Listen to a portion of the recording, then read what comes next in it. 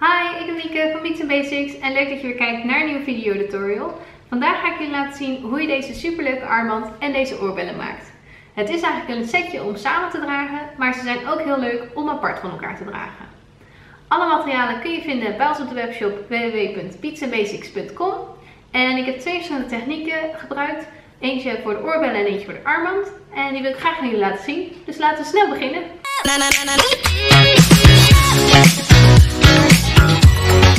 Wat heb je allemaal nodig?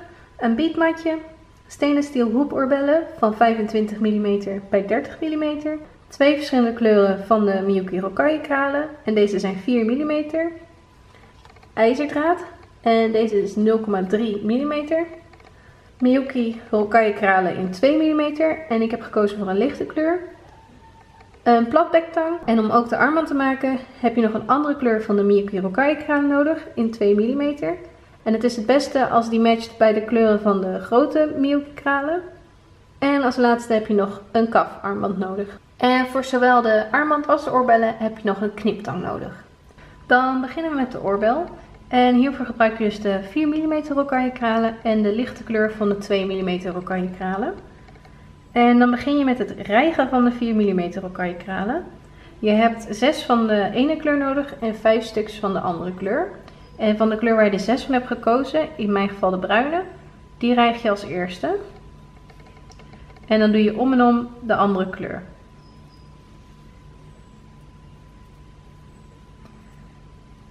Zo.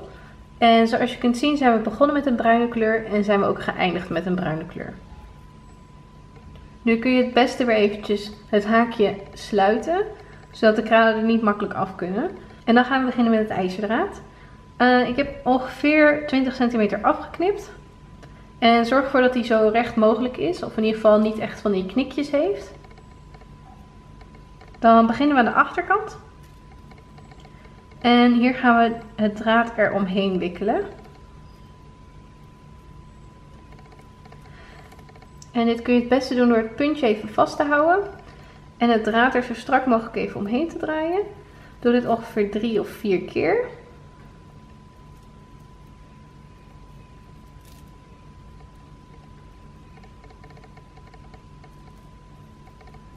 Zo. En zorg ervoor dat je draad dan weer naar boven wijst. Nu schuiven we dit even aan. En hier heb je dus de platbektang voor nodig. We gaan namelijk het haakje wat nog uitsteekt plat tegen de oorbel aanduwen.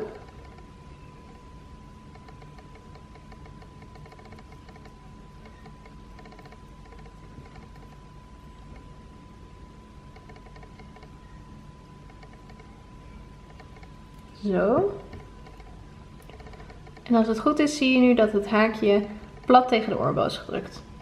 Nu duwen we het stuk wat we net gewikkeld hebben tegen elkaar aan. En dit kun je door vier nagels tegen, er tegenaan te duwen. En ook hier knijp ik weer eventjes de draden plat. Zo. En dan ziet het er zo uit. Hoe strakker je het er dus omheen wikkelt, hoe netter de afwerking eruit ziet. Nu zorg je dat het draad weer naar boven wijst. En rijgen we 5 rocaille kralen.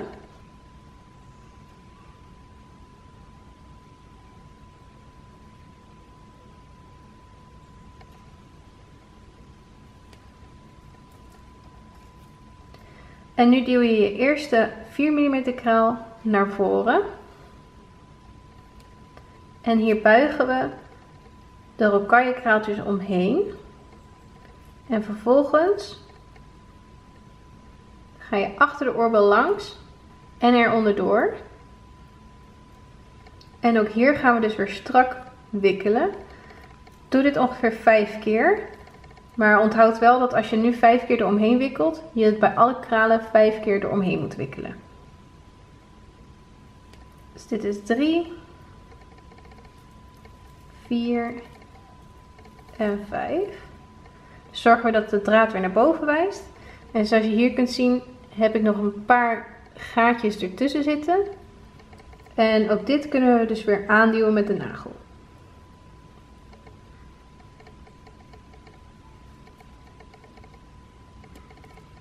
Zo.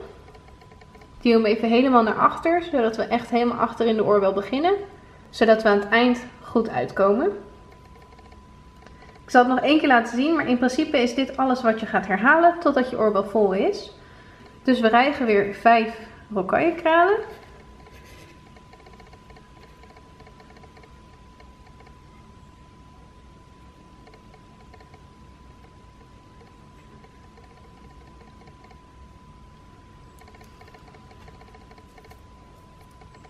Je pakt nu de volgende kraal, in dit geval de groene. Je buigt de rocaille er weer omheen. Gaat achter de oorbel en onder de oorbel door. En je wikkelt het er weer strak omheen. En omdat we dus bij de eerste kraal vijf keer eromheen zijn gegaan, gaan we dat dus nu weer doen. Dus dit was 1, 2, 3, 4, 5. Doe het wikkelen dus zo strak mogelijk, zodat je het eigenlijk alleen nog maar hoeft aan te duwen. En het er dan eigenlijk als een strak geheel uitziet. Herhaal dit nu totdat je aan het einde van de oorbel bent en dan laat ik je zien hoe we gaan afhechten.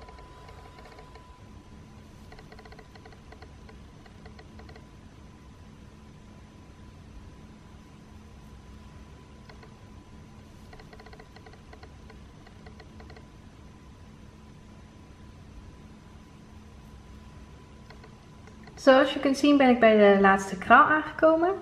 En eigenlijk is dit precies hetzelfde. Je rijgt weer 5 Miyuki Rokai kralen.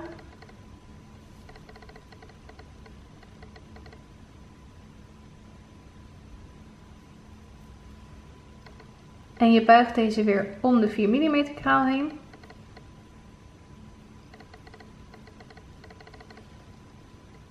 Je gaat achter de oorbel langs en onder de oorbel door. En dit keer draai je het draad er maar drie keer omheen. Zo. En dit duw je even goed tegen de kraal aan.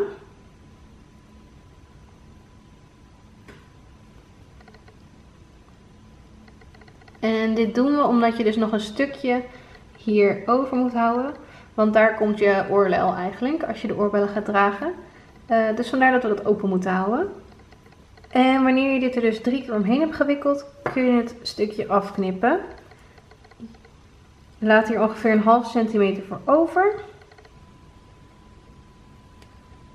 En dan kunnen we deze met de platbacktang er nogmaals omheen wikkelen.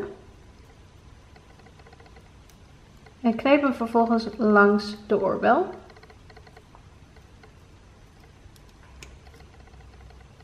Zo, en dan is je oorbel klaar. Als je er nog een maakt, heb je een leuke set om gelijk te kunnen dragen. En dan gaan we nu verder met de armband. En voor de armband gebruik ik weer de twee verschillende kleuren Miyuki Rokai's in de 4 mm. De lichte kleur van de 2 mm Rokai kralen. En ook de tweede kleur van de Miyuki Rokai kralen. Ehm, en deze kleur heb ik uitgekozen zodat hij een beetje matcht bij de kleuren die ik al heb. Dus vandaar dat ik heb gekozen voor een beetje de groenige kleur. De techniek zoals we die bij de oorbel hebben gedaan kunnen we helaas niet herhalen. En dat komt omdat de armband veel dikker is dan de oorbel. En we dus niet de 4 mm kralen kunnen rijgen zoals we dat hier hebben gedaan. En dan is het begin ongeveer hetzelfde. Ik gebruik alleen voor de armband ongeveer een meter van het ijzerdraad. Dus je moet wel even goed opletten dat het niet in zichzelf uh, of om zichzelf heen draait, omdat het nu zo'n lang stuk is. En dan is het beginnetje dus hetzelfde. Je houdt weer even het beginnetje vast met je vinger. En je draait je draad er ongeveer vier keer omheen. Zo, en dan zorg je dat hij weer even aan de bovenkant komt. En nu draai je het puntje ook om de armband heen. En het laatste stukje doe je even met de tang. Zo. Om ook dit weer allemaal aan te laten sluiten, duw ik weer met mijn nagel even naar het beginnetje toe. En mocht het dan een beetje verspringen, kan je het altijd weer even met de tang een beetje bijknijpen. Zo. Zorg er dus voor dat het ijzerdraad weer naar boven wijst. En dan kunnen we nu beginnen. Um, ik begin met de donkere kleur. En hiervan rijg ik 3 Miyuki kralen van 2 mm. Vervolgens rijg ik een bruine Miyuki Rokai van 4 mm. En doe ik nog 5 Miyuki Rokai's van 2 mm van de groenige kleur. Zo, dan ziet het er zo uit.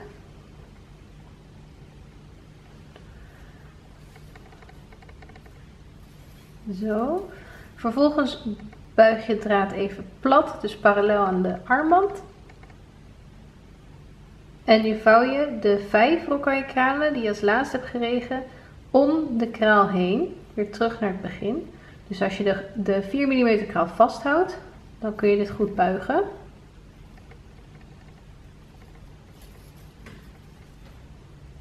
En dan ziet het er zo uit. Nu gaan we namelijk weer terug met je ijzerdraad. Door de 4 mm kraal.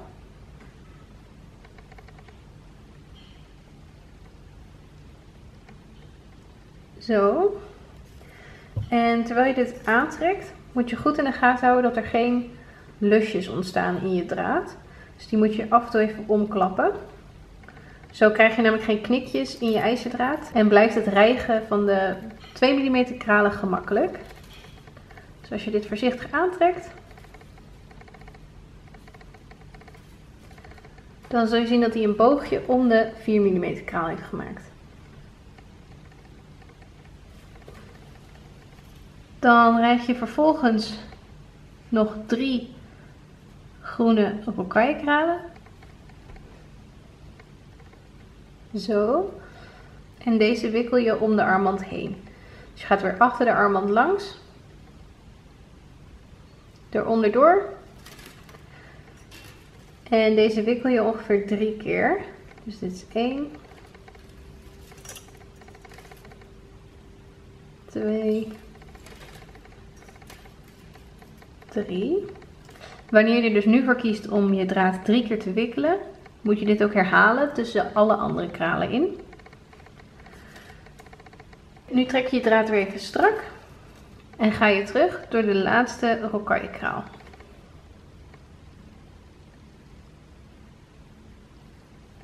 Trek ook hier weer voorzichtig je draad doorheen en zorg ervoor dat er dus geen lusjes ontstaan. Zo. En als je dit dus goed aantrekt, ziet het er zo uit. Om de tweede kleur aan te hechten, beginnen we met twee Miyuki's van 2 mm in de lichte kleur, dus in de tweede kleur.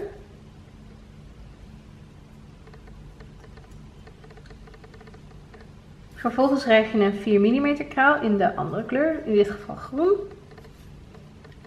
En rijg je nog 5 rocaille kralen. Nu doen we weer hetzelfde. Je houdt de 4 mm kraal vast en je buigt je 5 rocaille kralen eroverheen. Vervolgens ga je met het ijzerdraad terug door de 4 mm rocaille.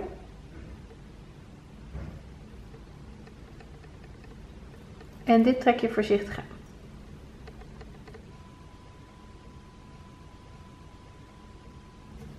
Trek dit strak. En dan ziet het er zo uit. En de reden dat we dus nu twee lichte elkaar hebben gedaan in plaats van drie, zoals bij deze groene, is omdat je hier onderaan altijd één kraaltje extra houdt. En we gaan dus de lichte kralen iedere keer met twee doen. Dus je eindigt nu ook weer met twee lichte rocaille kralen en één donkere.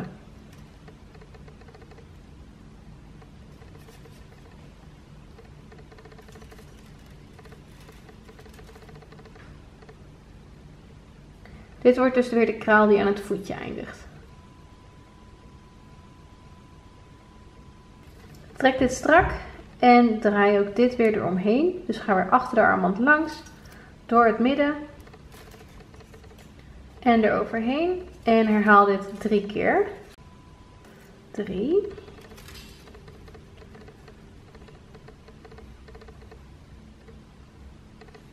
Duw ook dit weer even bij elkaar.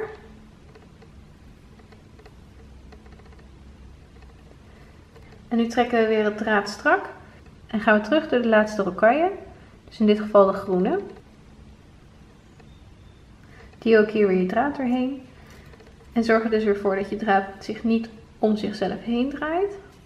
Zo. En wanneer je dit strak trekt, ziet het er zo uit. Nu kun je dit patroon herhalen totdat je hele armband vol is. En wanneer je weer bij het einde bent, laat ik je zien hoe we dit gaan afhechten. Om nu dus weer de groene te beginnen, rijg je eerst twee groene.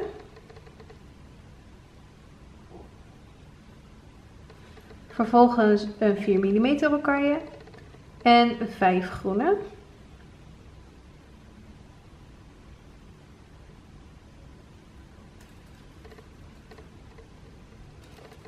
Hou ook hier weer de 4 mm kraal even vast. Buig het ijzerdraad om de 4 mm kraal heen. En steek het draad terug door de 4 mm kraal.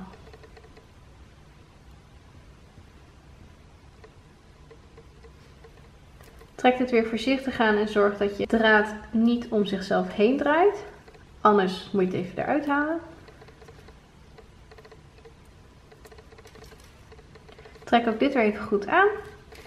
En vervolgens rijg je drie groene rocaille kralen van 2 mm. Zo. Ga, nu, ga ook nu weer achter de armband langs. En er tussendoor. En wikkel ook deze weer drie keer. Zo. Duw dit allemaal weer even bij elkaar. Vervolgens maak je draad weer even recht. En ga je terug door de laatste rocaille kraal. Trek ook hier je draad weer voorzichtig doorheen. Trek dit strak en dan ziet het er zo uit. Nu kun je denk ik wel de rest van de armband even afmaken. En wanneer je toe bent aan je laatste kraal, laat ik je zien hoe we dit gaan afhechten. Zoals je kunt zien ben ik bij de laatste kraal aangekomen. En uh, je kunt hier dus zien dat we begonnen zijn met een groene en eindigen met een witte. Dus dat is mooi, dat sluit het helemaal goed aan. De laatste kraal is in principe natuurlijk hetzelfde. Je krijgt er twee lichte rocaille kralen, een groene 4 mm kraal, vijf witte rocaille kralen. Dan vouw je het draad weer om de 4 mm kraal heen en duwen we het ijzerdraad er doorheen. En als laatste eindigen we dit keer met drie witte rocaille kralen. Het enige wat dus anders is, is dat we nu drie witte rocaille kralen rijgen. Want hiermee eindigen we, dus dan heb je het net zo afgewerkt als aan het begin. Nu draaien we het draad er weer omheen. En doe ook dit ongeveer drie keer. En ga dan nog één keer terug door de laatste rocaille kraal. Trek ook dit draad er doorheen. Zo. En dan ziet het er zo uit. En nu als laatste kun je het eindje nog één keertje naar voren buigen. Draai het nog een keer om het uiteinde heen. En knippen we het af. En ook hier laat je ongeveer een halve centimeter over. Je pakt weer je platwerktang en draait dit om de armband heen totdat het plat tegen de armband aan zit. Dus dat kun je een beetje knijpen en draaien.